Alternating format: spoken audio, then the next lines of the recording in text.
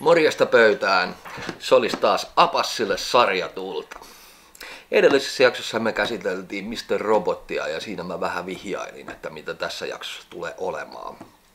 Ja totta kai tässä jaksossa käsitellään äh, Nicholas Winding Refnin ohjaama Too Old to Die Young, joka valmistui sen 2019. Kyseinen sarjahan lähtee siitä liikkeelle, että poliisi nimeltä Martin Jones, jota esittää loistava Miles Teller. Miles Teller hän on se Whiplashin se rumpupoika, joka sai ihan ansaitusti Oscar-ehdokkuudenkin kyseisestä roolista. Hän näyttelee sitä, sitä, sitä Martin Jonesia ja hänen pari murhataan. Ja sitten tota, sen jälkeen alkaa sellainen todella fucking weirdo trippi alamaailmasta kartelleihin, kartelleista Amerikan jakutsoihin, jakutsoista homoraiskari jengiin ja sitten semmoisen Viggo-nimiseen hahmoon, jota esittää muuten loistava John Hawks, joka metsästää kaikkia pedareita ja tällaisia.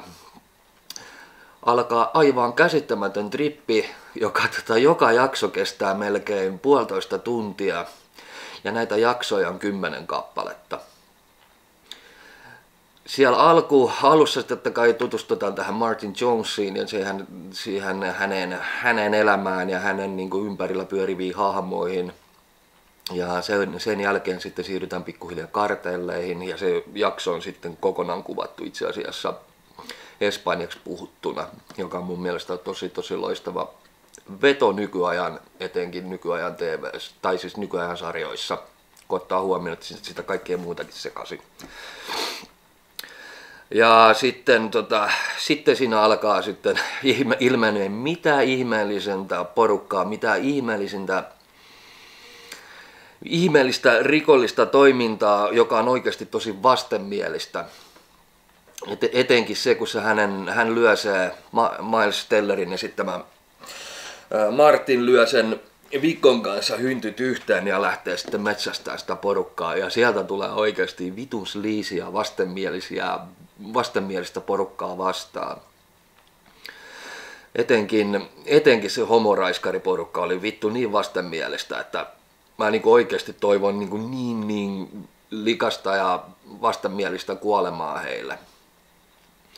Elokuvassa on sitten kaksi ihan ylivoimaisinta hahmoa, jolle kukaan ei voi mitään. Ja musta jotenkin tuntuu, että Refni on loistava tossa. Se osaa kirjoittaa tollaisia hahmoja, tosi vahvoja, jotka ei vaikuta vahvoilta. Ja kumpikin on nainen tässä. Ja ne on sitten kunnon, kunnon ninjoja, en sano enempää, katsokaa itse. Tässä paha saa palkkaansa ihan kunnolla. Ja, mutta mutta elokuva on edelleen, elokuva siis toi TV, tai siis sarja on mulle edelleen sitä, että tämä on oikeasti aivan uskomattoman upeasti kuvattu, uskomattoman upeat musiikit, uskomattomat upeita kuvia, siis silleen, että kun sä kuvat sitä kaupunkia ja tulee väkisin mieleen drive. Tässä on tosi loistavasti omasta mielestäni yhdistetty drive, ää, Only God Forgives ja Neon Demon. Ja ne on ne kolme omasta mielestäni tällä hetkellä Nicholas Winding Refnin ehkä niitä merkittävimpiä teoksia hänen uran kannalta, vaikka mä pidänkin Pusher-trilogiaa niin kuin hänen parhaana teoksena. Mutta siinä hienosti näkee sen, että mitä hän on ajatellut. Hänen seuraava tuotos hän sitten tulee olemaan ilmeisesti tämän vuoden puolella tai ensi vuoden alussa ilmestyi Maniac Cupista sitten remake, joka oli niin pitkään kuvattu, että siitä tehtiinkin sitten, päätettiin tehdä sarja.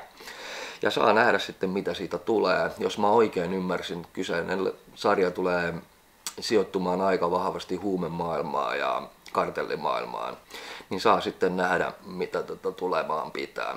Toivottavasti se on eräänlainen samanlainen teos mitä tämä oli.